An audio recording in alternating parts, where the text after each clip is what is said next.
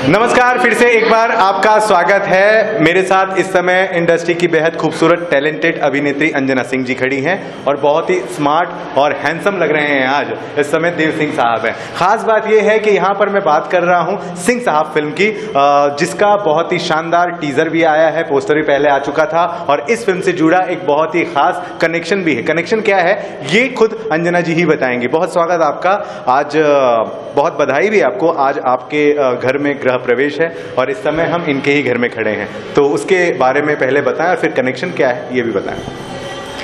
आज मतलब जैसा कि आपने कहा कि गृह प्रवेश है और गृह प्रवेश के उपलक्ष्य में देव जी आए हुए हैं और काफ़ी सारे लोग मतलब आए और जा रहे हैं जैसा जिसके पास समय थैंक यू सो मच आप आए।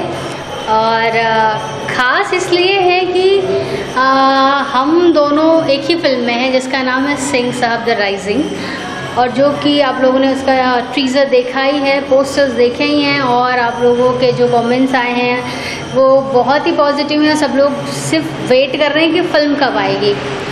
कॉमन बात एक और है इसमें अ, कि लाइन से कुछ दो तीन दिन पहले हमारे फ़िल्म के जो प्रोड्यूसर साहब हैं वो प्रोड्यूसर साहब हैं उदय भगत जी उन्होंने अपना गृह प्रवेश किया। उसके चार पाँच दिन पहले देव जी ने गृह प्रवेश किया और आज मैं मतलब मेरे घर का गृह प्रवेश है। तो सवाल ये बनता है कि ये मेरे को तो तेरह साल लगे बॉम्बे में घर लेने के लिए। आपको कितना समय लगा? मुझे भी लगभग इतने साल लग गए। मैं तो लगभग इतने साल इतने ही साल। अ, उदय जी को भी मुझे लगता है उतना ही समय लगा होगा उससे ज़्यादा ही लग गया होगा। तो कॉमन मतलब बात इसमें ये है कि हम लोग जो सोच रहे थे कि अगर ये सिंह साहब फ़िल्म तेरह साल पहले, पहले, बन गई होती। या हम उस परिवार से जुड़ी हुई कोई भी सिनेमा पहले कर लेते।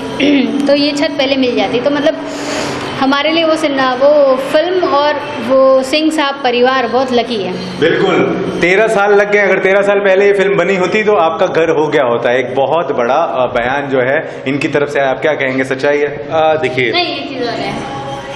इससे पहले मेरे हीरो भी नहीं बने थे ना ये। हीरो भी अच्छा तो सीधा ये बोलिए ना आप ये कहना चाह रही हैं कि मेरे हीरो बने तो आप इनका घर हुआ इन्होंने इन्होंने डांस बहुतों के साथ किया किया या नहीं किया?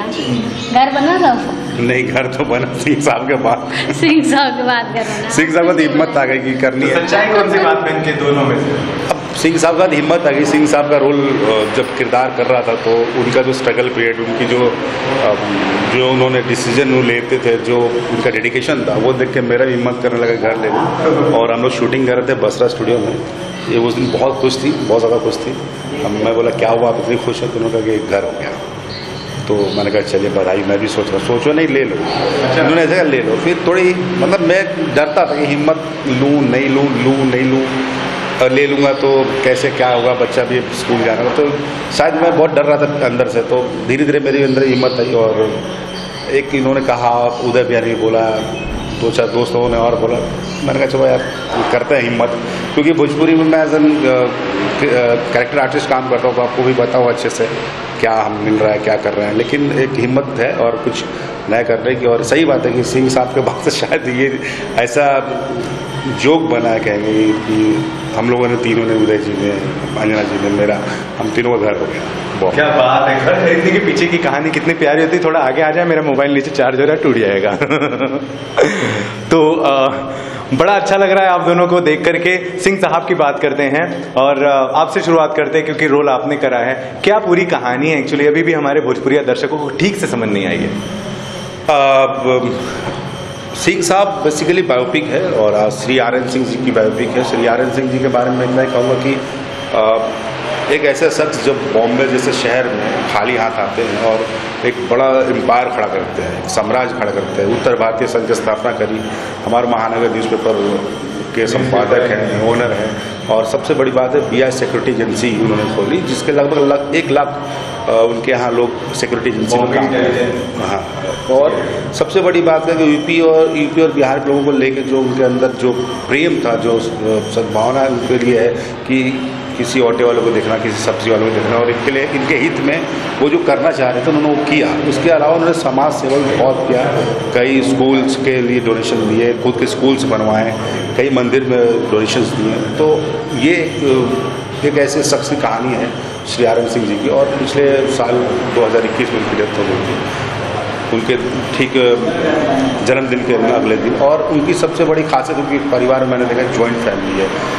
अभी भी उनकी पूरी फैमिली एक साथ है और एक दूसरे के रिस्पेक्ट है इतना प्रेम है तो बहुत कम देखने को मिलता, खास करके अपने प्रदेश में। तो ये चीज़ उन फैमिली से सीखना बहुत ज़रूरी है। ना ही उनको पैसे का घमंड है, ना ही किसी चीज़ का। तो ये मैं बहुत शुक्रगुजार हूँ ऊपर वाले का, महादेव का, कि शायद मेरी किस्मत में ऐसा कुछ था जो आ गया, मैंने कुछ अच्छे कर्म किए होंगे तो ये फ़िल्म करने को मौका मिला। क्या बात है। अपने किरदार के बारे में आप बताएँ। हमने काफ़ी तस्वीरें देखी हैं, बहुत ही अच्छी शानदार केमिस्ट्री लग रही है, और बहुत अच्छा जज भी रही है ठकुराइन के रोल में। तो क्या कुछ आपकी भी ज़िंदगी से जुड़ाव दिखा, और क्या खासियत रही है आपके किरदार की? मैंने श्री आर्यन सिंह जी की धर्मपत्नी का किरदार निभाया, राम सखी जी का। और मैंने उनको देखा नहीं था, मैंने आर्यन सिंह अंकल से तो मैं मिली हुई थी बट उनको जो भी मैंने देखा और उनका लुक उनका बात करने का तरीका, वो सब जो वीडियोस थे, मुझे दिखाए गए। तो मैंने अपना हंड्रेड परसेंट दिया कि मैं कर पाऊँ वैसा। और इसका रिज़ल्ट मुझे जब हम लोगों ने अभी टेक्निकल ट्रायल रखा था तो वो मतलब सबने जो मतलब उनकी मम्मी के रूप में और उनकी जैसा जो छोटे बच्चे हैं दादी के रूप में सबने बोला नहीं ऐसी यही थी हाँ ऐसी थी और ऐसे ही थे। हाँ। पहले ही हो चुकी। हाँ। इनकी कास्टिंग सिंह साहिबा में इनकी पहले से कास्टिंग हुई। सिंह साहिबा कास्टिंग ही आपकी हाँ इनकी ही हुई थी और सिंह साहब फाइनल ही नहीं हुए थे। इन्होंने शायद पहले किसी और कास्ट का चाहा हुआ है उसे। लेकिन एक दिन हमारे फ़िल्म के निर्देशक धीरज पटनी जी उदय भैया और शुभम थे तो उन लोगों ने डिस्कशन किया मेरे नाम पे। उसके बाद शायद मेरे बोला ना कि महादेव का एक महादेव कृपा होती है। और मेरी लाइफ में भाई बॉम्बे आना बहुत किस्मत से आया हूँ। काम भी जो मिला बहुत किस्मत से मिला। जहाँ उम्मीद रहती है वो काम मिलता ही नहीं। और जहाँ मैं उम्मीद छोड़ता हूँ वहाँ काम मिल जाता है। पता नहीं क्यों। एक दिन उदय जी का फ़ोन आया मेरे पास सुबह सुबह। आपको एक फ़िल्म करनी है?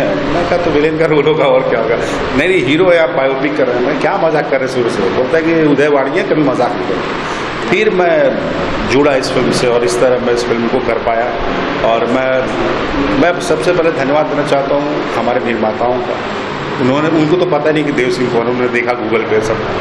उन्होंने हामी भरी डायरेक्टर ने, हमारे डायरेक्टर के कहने पे हामी भरी, उधर भी कहने पर हामी भरी और साथ में पूरी टीम का, खास करके अंजना जी का भी मैं धन्यवाद देना चाहता हूँ। उनके साथ फ़िल्म सीन करने में बहुत कम्फर्टेबिलिटी हो जाती है।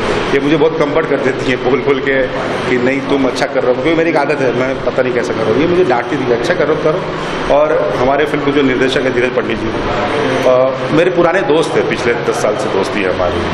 वो जिस सीरियल में हीरो थे, मैं उसमें, मैं मतलब दोस्त का रोल कर रहा था। मुझे नहीं पता था कि किस्मत में ऐसा हुआ एक दिन मुझे डेट करेंगे। धीरज जी ने पूरे सेट पे मेरा बहुत, मेरे लिए अपना समय दिया, मुझे मतलब मैं जो चाहे करना चाहता हूँ, मैं फुल सपोर्ट किया है तो पूरी टीम के कहूँगा पूरी टीम सपोर्ट से सपोर्ट से आपकी टीम तो बहुत ज़्यादा सपोर्टिव है, पता ही चल रहा है, जिस तरीके से आपको देखते हैं तस्वीरों में। आपसे सवाल मेरा ये है कि इतनी अच्छी कहानी, इतने अच्छे वो जो मोशन पोस्टर आया था हर चीज़ बड़ी बारीकी से काम करा गया है। तकलीफ़ मुझे इस बात की है कि इंडस्ट्री के लोग ने उस फ़िल्म के पोस्टर को बहुत ज़्यादा प्रमोट नहीं किया, जबकि आजकल हर कोई कर ही रहा है। खेसारी जी की फ़िल्म आ जाती है, पवन जी की आ जाती हर कोई कर रहा है। क्यों आपको, मुझे बहुत दुख हुआ है, आपको ऐसा कुछ फीलिंग आई? है आपने अपने सवालों का जवाब खुद ही दे दिया ना मतलब कि खेसारी जी और पवन जी का किया जाता है। हाँ बाकी लोग का नहीं किया जाता है। अच्छा वो प्रोड्यूसर डायरेक्टर भी कर रहे हैं जो उस फ़िल्म से नहीं जुड़े हुए। तो सिंह साहब का क्यों नहीं? अच्छी चीज़ों को क्यों नहीं प्रमोट किया जाता? अगर सच में गहराई की बात अगर मैं जानना चाहूँ। देखिए क्या हो सपोर्ट की बात मैं कहूँगा लेकिन हमारे जितने लोगों ने सपोर्ट किया है मैं कहूँगा कुछ हज़ार लोगों ने पोस्ट किया था। हमारे। किया हाँ किए बहुत लोगों लेकिन अभी मैं फ़िल्म की शूटिंग का था अवैध और उस फ़िल्म में हीरो थे खेसारी। उन्होंने, मैंने, हमारे कोई डिस्कशन नहीं मैं पिछले मैं पिछले पाँच साल से उनके साथ काम नहीं किया। मैं एक दिन बैटल सेट पे हुआ है और उनका, मुझे एक लाइन उन्होंने बोली। बोले, देव तारे को हम पोस्टर देख लो सिंह साहब बड़ा बढ़िया में बाल में। तो मैंने वो सीन भी देखा, उन्होंने बहुत तारीफ़ की, उन्होंने टीजर भी देखा, बहुत तारीफ़ की। तो उन्होंने ये भी बोला कि जब रिलीज़ होता हम लोग बोली, हम सब, हम मेरा पोस्ट कर। तो चलो, एक अच्छा लगता है कि चलो, उन्होंने इतना बोला हुआ बहुत है। बात की बात और रही बात हीरोज़ की तो स्टार्स को तो यार कौन बुरा बनना चाहता? सब चाहते हैं मैंने सब मजबूरी भी तो हो सकती है कि सामने सामने दिख गया तारीफ़ बनती है। करना होता तो कर देते हैं। चीज़ों खुद ही डिजिटल लाइव आकर के अपनी चीज़ प्रमोट कर रहे हैं फिर वो हमारा क्या प्रमोशन करेंगे? सॉरी वो एम जी बहुत बड़ा बयान है। चलिए ठीक है कोई करे नहीं करे उसमें क्या है और, और क्या है। ना उम्मीद क्यों करना? मतलब हाँ। पहली चीज़ तो मैं उम्मीद ही नहीं करती हूँ। मैंने किया है मेरा अच्छा है मुझे पता है और ऑडियंस बताएगी। तो ये सवाल ही अजीब बनता है कि आपने किया उन्होंने क्यों नहीं प्रमोट किया उन्होंने क्यों किया? वो भी करते मैं भी नहीं करती हूँ। लाइक उनकी भी कोई चीज़ आती है। अगर मुझे जेनविनली वो अच्छी लगती है तो बगैर बोले मैं प्रमोट करती हूँ। अगर नहीं अच्छी लगती है डेली मतलब दिन में बीस गाने तो आते होंगे ना। मुझे बीस नहीं तो दो तो चार आते ही है ना। ज़रूरी नहीं ना मुझे सब अच्छा लगे। लेकिन हाँ ज- अगर मुझे जेनुअनली किसी का अच्छा लगेगा तो किसी को मुझे मैसेज करके पर्सनली बोलने की ज़रूरत नहीं कि भाई मेरा रील बना दो या प्रमोट कर दो। तो वैसे ही हमें नहीं अच्छा लगता हम भी उनका नहीं प्रमोट करते हैं उन्हें अच्छा लगे तो करें और जिन्होंने किया उनके लिए हम धन्यवाद बोले ना। जिन्होंने नहीं किया हम उनको क्यों टारगेट करें? हमारे लिए तो ठीक है। उनको थैंक्स बोलेंगे ना जिन्होंने हमारा किया। मतलब उन्हें अच्छी चीज़ें देखने की आदत है अच्छी चीज़ों को अप्रिशिएट करने की आदत है और वो अच्छी चीज़ें चाहते हैं इंडस्ट्री में आए तो वही लोग शेयर करेंगे ना। और वैसे भी कंटेंट अगर अच्छा हो तो फ़िल्म अच्छी चलनी ही चाहिए। तो और, और मेन हमारा शेयरिंग ठीक है आज की डेट में हम लोग डिजिटली और सोशल मीडिया पे सब लोग एक्टिव रहने चाहिए होने चाहिए होते हैं। बट हमारी थिएटर्स की ऑडियंस के बारे में बात कर लें। वो ज़्यादा इम्पोर्टेंट है। वो जब सिनेमा देखेंगी वो क्या बात करती हैं वो ज़्यादा हमारे लिए मतलब इम्पोर्टेंट रखता है। बिल्कुल। बस अब जाते जाते इस इंटरव्यू के आखिरी में ये बताते जाएँ कि ये फ़िल्म हमें कब देखने को मिलने वाली है और अ, क्या कुछ खासियत होगी? आ, फ़िल्म तो रेडी है। अब हमारे प्रोड्यूसर डायरेक्टर बताएँगे कब तक फ़िल्म हम लोग देख सकते हैं। मैं भी जल्दी ही आ जाएँगे। तो इसका जवाब उदय भैया देंगे तो ज़्यादा अच्छा है। बाकी वज़न जी को भी कब आपको आइडिया है कब पिक्चर कंप्लीट है मे बी आई थिंक कि अभी डेट अनाउंस तो नहीं की है। अ, क्योंकि जो सिंह साहब फैमिली थी वो आउट ऑफ़ लाइक इंडिया थी। अभी वो लोग वापस आए हैं। देन दे विल डिसाइड क्योंकि उनके फादर की फ़िल्म है उनके फादर के ऊपर बनी हुई है। तो हाँ हाँ तो लाइक फ़िल्म रेडी है। अब वो जब गीता दीदी चाहती हैं तब वो रिलीज़ हो जाएगी और हम लोगों, सभी लोगों के सामने आ जाएगी। बहुत शुक्रिया और बहुत बधाई भी आप दोनों को सिंह साहब के लिए और जैसे ही फ़िल्म आएगी, फिर हम लोग रिव्यू भी करेंगे। इनसे कोई सवाल हो तो प्लीज़ कमेंट बॉक्स में लिखना। नमस्कार।